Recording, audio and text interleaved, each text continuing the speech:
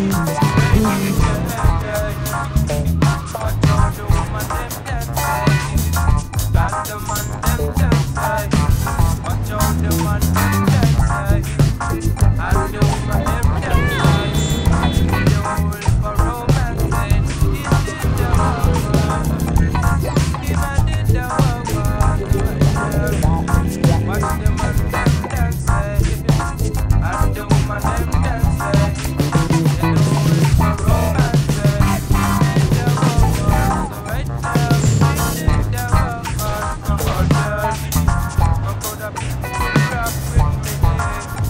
Rock with a man, and it's fucking sensitive.